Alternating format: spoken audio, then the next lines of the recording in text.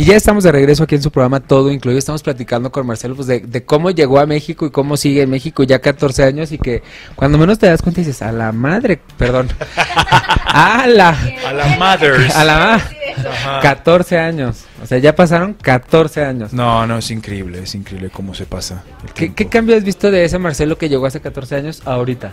No, bueno, ahora ya soy más experimentado, ya me tomo las cosas con mucha más calma, no me lo tomo tan en serio, no me lo tomo personal, digo, ahí hay un, hay un dicho muy importante en la actuación que es no te lo tomes personal, porque el actor enfrenta muchas negativas y muchos portazos y muchos rechazos, ¿no?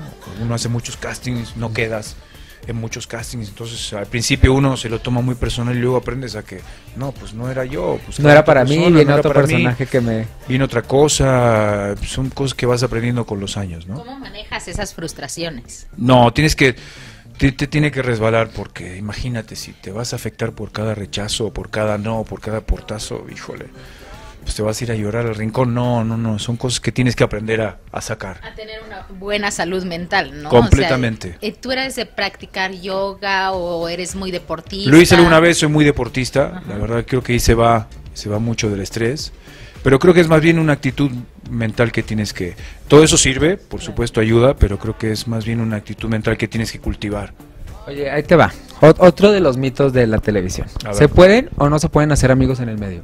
Sí, sí, claro, yo los tengo. No tengo muchos, porque sí es complicado, hay mucho. Los cuadrar tiempos. Y no, no solo eso, hay egos, ¿no? Los actores tenemos egos. E- generalmente- es- ese mito sí es real. Generalmente- Ese sí es real. tenemos egos muy grandes que en un, en un caso son útiles, nos funcionan, pero en otro nos obstaculizan para hacer amistades, porque hay competencias. Pero, pero no, sí los he hecho y los he hecho muy buenos también. Si, si tuvieras uno, por lo menos, del medio que dijeras, ese cambió mi manera de pensar de él y ahorita es de mis amigos. Lo puedo considerar de mis Tengo, amigos. tengo varios. Podría, podría mencionar dos. Valentino Lanús podría ser uno. Que no lo, y curiosamente no lo veo mucho, pero lo Eh, considero con él alguien hiciste llena de amor. No. él llena- está- no, y mi no. primera novela hice con él, Alborada. Él estaba, él estaba ahí Oh, también sí, en cierto. y, de y- Carla Estrada también. y me trató como si fuera, yo era recién llegado y me trató como un par. Y otros, pues, Mariana Sebane, Lucero misma, que son gente que no veo mucho, curiosamente, pero cada vez que los, que los veo son, es como si los hubiera visto ayer. Entre otros muchos, Carlos de la Mota, no sé, Ferdinando, se me vienen a la mente muchos, mucha gente que considero, considero amigos y que no veo mucho, pero que pude tener una- un acercamiento, ¿no? Oye, ¿qué es lo más fuerte que te ha hecho una fan? O sea, que de repente... Son muchas cosas, ¿verdad? hay muchas cosas, porque no... La que se pueda contar. No, no te olvides que además hay redes sociales y mandan fotos y dicen cosas y te encuentras con gente... así, que haga algo que digas, ay.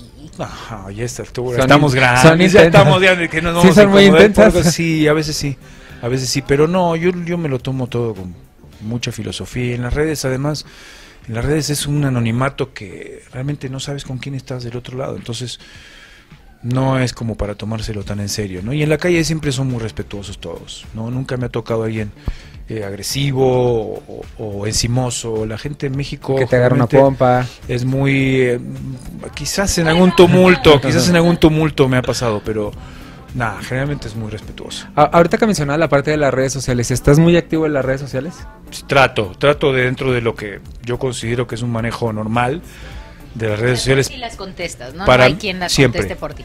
siempre siempre no manejo yo Instagram o Facebook o Twitter Dásela a las personas que nos están viendo, Ah, sí. tus redes sociales para que te sigan. Instagram arroba Marcelo Córdoba Twitter el mismo arroba Marcelo Córdoba y Facebook pues tengo tres cuentas de Facebook que manejo una personal y dos de fans Marcelo Córdoba ahí las van a ver ahí están ¿Y qué pasó en el mundial que jugó México-Argentina? Que ya no quiero ni recordar eso. Ay, sí. Recuerdo que, Que, la- que estabas en hoy. ¿A quién le el de gol, el gol de Maxi Rodríguez, aquel del gol de yo estaba en un restaurante, recuerdo, en, en Polanco y el gol mm, lo quería gritar, pero no porque fue un fue un cementerio ese, ese, ese ¿Cómo, gol. cómo llegabas? ¿Con tu camisa de México Fue o con tu camisa de, Argentina? No, no, no, nada, no, no. Que dijiste, no nada. quiero entrar en problemas, No, porque hay que ser respetuoso también, hay que entender el ser nacional, ¿no? Y, y yo sé que se toman muy en serio las cosas aquí con el fútbol en Argentina, igual o peor.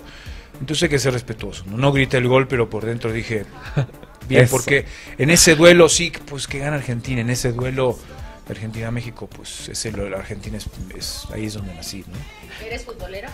No tanto, fíjate que no tanto, pero obviamente los mundiales, los que no son futboleros también se hacen futboleros. Es no, no, ahí- que no quieras, donde quieras que ahí, llegas de estar. Claro, ahí juegan muchas cosas de, del ser nacional, como te decía, entonces sí te haces futbolero, ¿no? Con eso nos vamos rapidísimo un corte y regresamos.